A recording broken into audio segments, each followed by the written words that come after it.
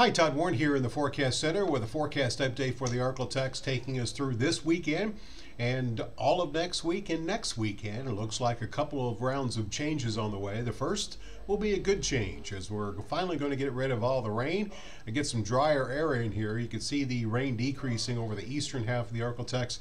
Do have a few scattered showers along a frontal system developing as expected over the northern parts of the Arklatex. This activity will continue to develop and gradually spread to the south before ending later on this evening. As far as the overall weather pattern, big upper level low, which is now digging into the Great Lakes, responsible for the uh, drier air that's going to filter into the Arklatex.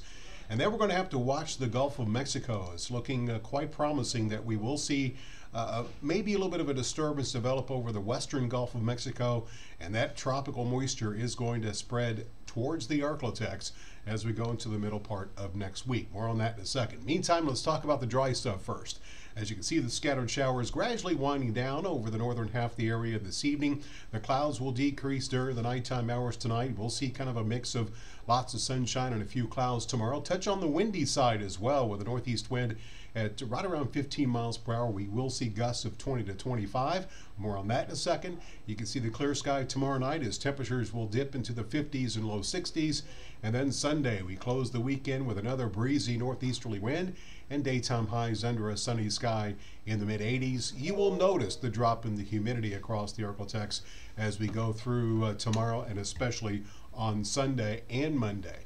That being said, we will stay clear Sunday night. Temperature Sunday night pretty much area wide will dip into the 50s and then we'll start to see that moisture return. The reason for the drier air moving in, that rather stout northeasterly wind. This is a look at wind gusts tomorrow, and you can see as we go into the afternoon, those gusts likely will exceed 20 miles per hour in spots. So it's been a while since we've had a very windy day. It looks like uh, we have the potential for some gusty winds on your Saturday.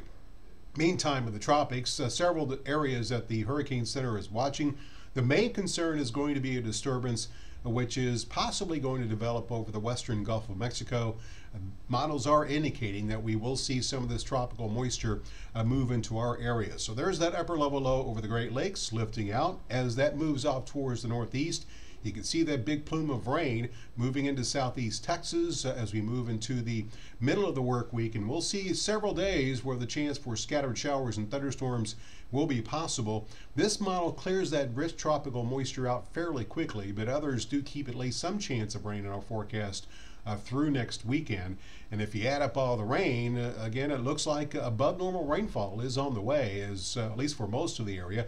Northern parts of the Arklatex, half an inch to an inch. Could see an inch, inch and a half in Texarkana, two, two and a half inches in Shreveport, and more than four inches will be possible over the southeastern sections of the area. Now, keep in mind there's still some uncertainty as to the exact uh, strength and uh, location and route that that tropical disturbance could take if it moves a little bit further to the east. Obviously, these numbers will go down a bit, and if it moves further to the west, they will go up a bit. But some, that's something to have to watch very closely as we move through this weekend and especially for the middle part of next week.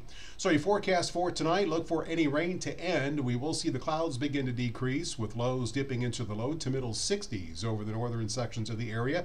65 tonight in uh, Texarkana, 70 in Shreveport, 67 in Minden. Tomorrow, a nice start to the weekend. We'll see lots of sunshine. It'll be rather breezy, if not windy and warm. Highs will be in the uh, upper 70s, low 80s across the north. How about 77 in Hope, 82 in Texarkana, 85 degrees for the high tomorrow in Shreveport. And your 10 day forecast shows that we will likely stay in the 80s through pretty much all of next week for daytime highs.